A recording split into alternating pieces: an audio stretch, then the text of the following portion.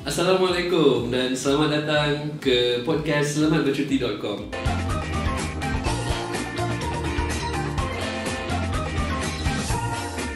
Selamatbercuti.com Pada hari ini kita nak berkongsikan tentang pengalaman berjalan-jalan di Itali bersama Kak Amy kita. So Kak Amy boleh tak perkenalkan diri uh, tentang selamatbercuti.com? Okey. Uh, saya Emilia Ismail kat sini uh, saya di, uh, dikenali sebagai Kak Emi saja walaupun dah senior citizen tapi panggil Kak Emi saja. So Kak Emi dah bekerja dekat samaupchi.com ni almost 8 years dan pengalaman travel selama bekerja di samaupchi.com ni boleh dikatakan 90% of all the packages from samaupchi.com ni Kak Emi dah pergi Alhamdulillah diberi rezeki dapat travel uh, bersama samaupchi.com. So hari ni Kak Emi nak cerita um, keistimewaan package samaupchi.com salah satu keistimewaan package daripada samaupchi.com iaitu Itali, Nice, Monaco, Barcelona.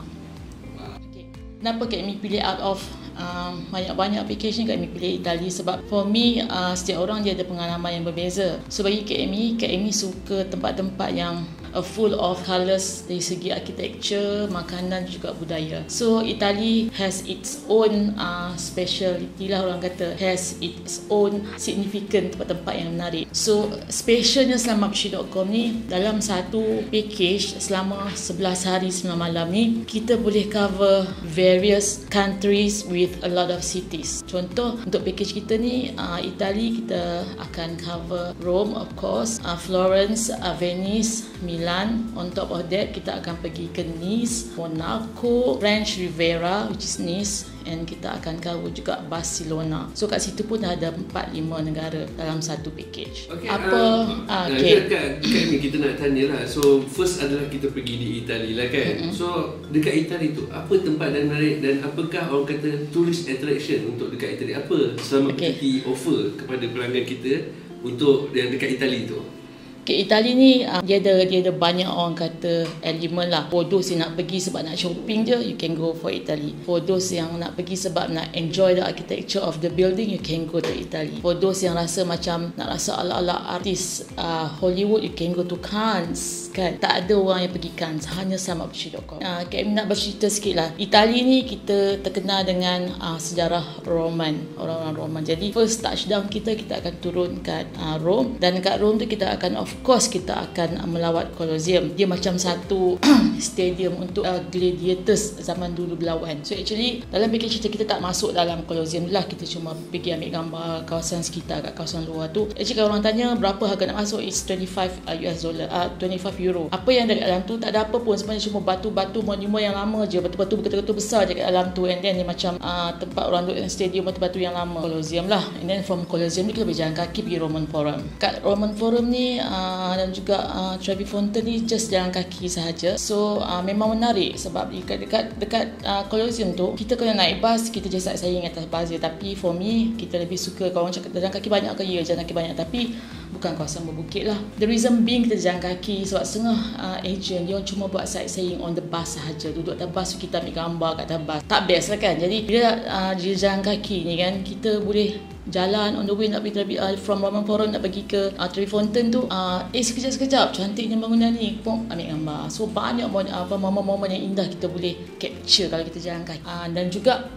lagi satu kita akan pergi melawat negara yang terkecil di dunia iaitu Vatican City. Dia macam one huge square kat depan tu ada the biggest church lah. Tapi kita akan pergi ke situ ambil gambar juga. Kita tak masuk dalam church lah. Package muslim kan what's the nak masuk kat dalam church tu? Just tengok dari luar je. Besides that kita akan melawat juga hmm, Florence.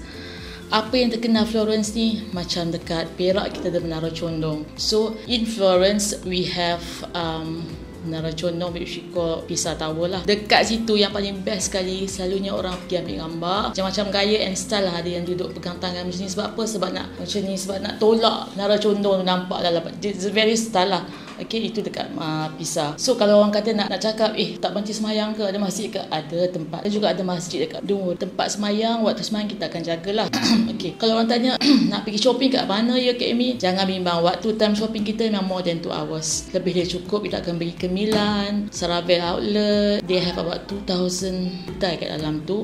Dan kita akan pergi leather shop dekat Florence naik gondola dekat Venice dan kita akan pergi um, Milan. Tempat yang paling famous kat Milan tu adalah um, itulah MacArthur Glen Outlet yang kami cakap tadi. Dan juga kita akan singgah on the way nak pergi ke Milan Uh, ke Nice tu kita akan singgah satu kita panggil French Riviera. Kita nak cerita sikit pasal French Riviera ni. Dia dalam negeri um, Perancis sebenarnya. So dia macam kawasan outskirt and kawasan uh, coastal area. On the way daripada uh, uh, Saravel tu, Milan tu kita akan melalui jalan yang melalui bukit. Bawah tu semua pekan-pekan kecil dan juga laut.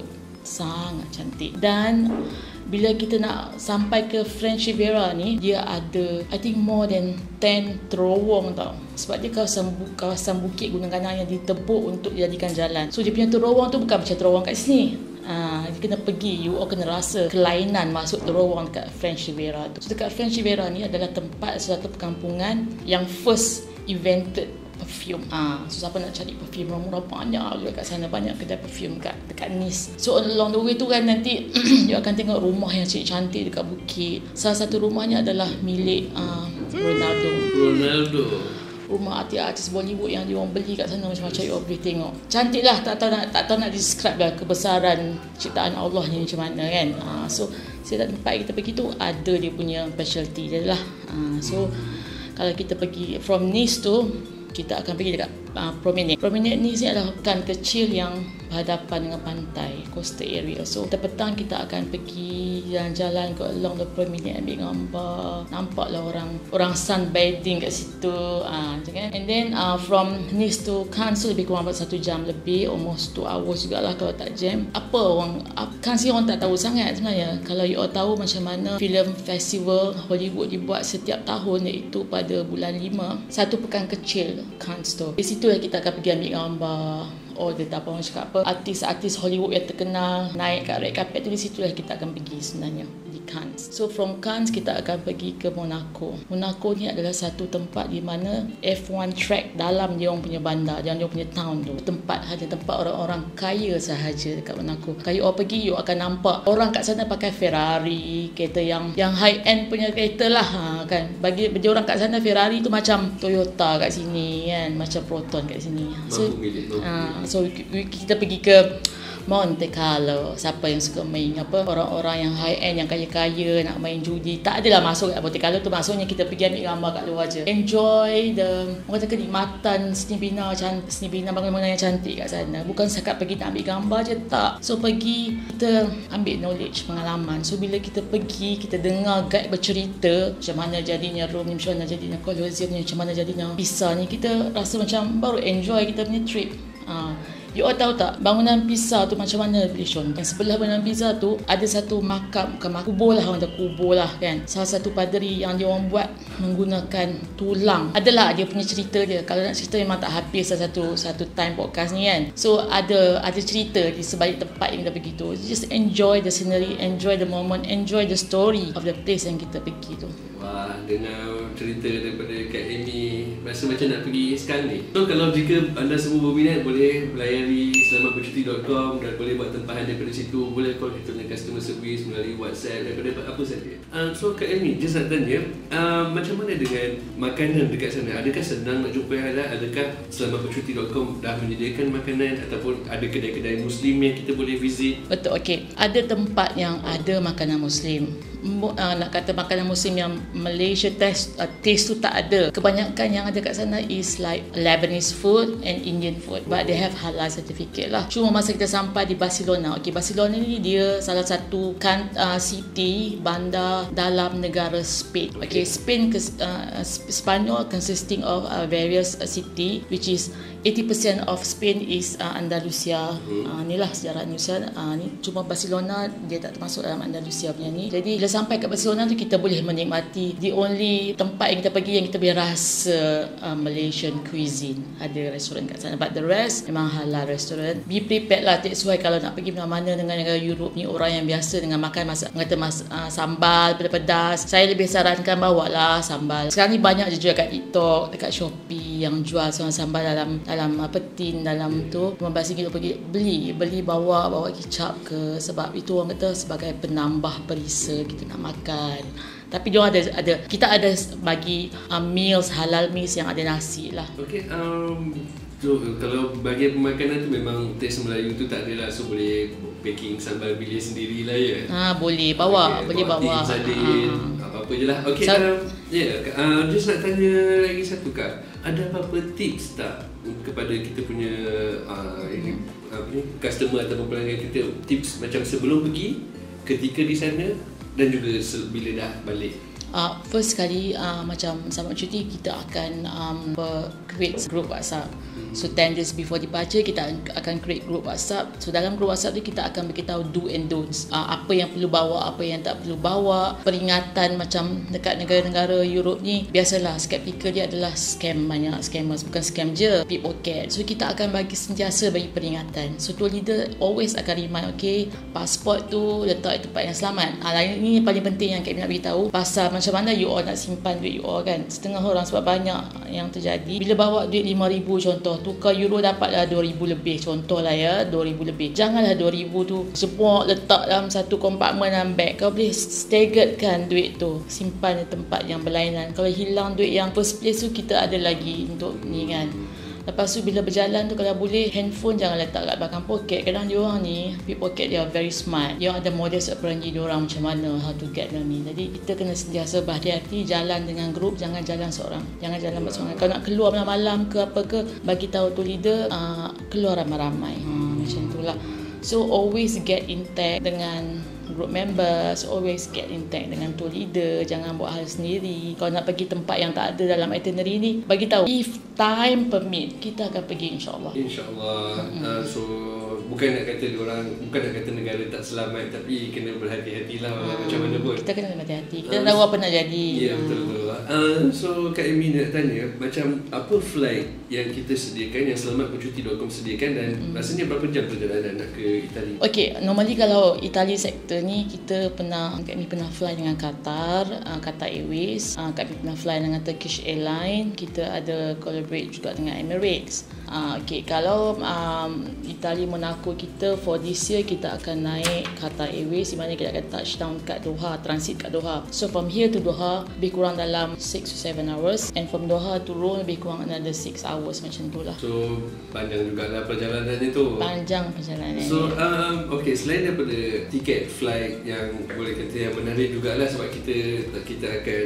menggunakan Qatar Airways. So apa lagi package-package yang termasuk jika customer beli daripada kita membeli package daripada kita menempah okay. package. uh, package kita ni semua uh, all in. Maksudnya termasuk tipping sesetengah agent nampak package tu ada customer cakap kenapa? You all mahal. 300 400 so uh, satu tips yang kami nak nak kongsi bersama. Kalau kita nak beli package tu kalau te- if you look at the price quoted by different different agent cuba buat perbandingan jangan cakap oh agent ni murah lah. Terus you go for the agent. But murah ada sebab you get what you pay. So kita kena study betul. Kadang agent ni tak masuk tipping. Kadang agent ni tak masuk entrance fee ke sini ke sini. Cuma cakap dia mention dalam tu ada pergi contoh tempat yang Ferrari World, contoh Ferrari macam tu. Tapi sebenarnya tak termasuk pun uh, entrance fee kan uh, so kena study kena study yang banyak bertanya uh, baru orang kata bila kita bayar lebih kita dapat macam ni lepas tu servis yang diberikan oleh tour leader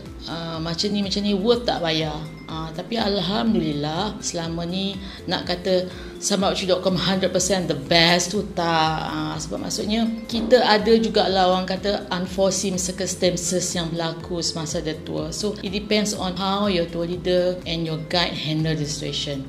So so far Alhamdulillah sama cuti.com tu leader yang kita hmm, tawarkan masuk tu leader yang kita bagi yang ada semuanya yang berpengalaman dan they know how to handle things when any uh, problem occurs lah. Oh, okay, so banyak maklumat dan juga pengalaman yang telah dikongsikan oleh Kak Amy uh, bangunan yang menarik, culture mm-hmm. yang lain daripada culture kita. Betul. Kalau nak tahu apa-apa pun, kalau lah kata berminat dengan package kami nak tahu apa-apa pun just call sama cuti boleh cakap dengan KME dan juga staff-staff KME so KME adalah salah seorang staff sama cuti uh, tujuh tahun kat sini uh, same position um, same department customer service and sales. Sebab KME my passion adalah KME suka berinteraksi dengan orang KME suka travel KME suka share the moment dengan orang.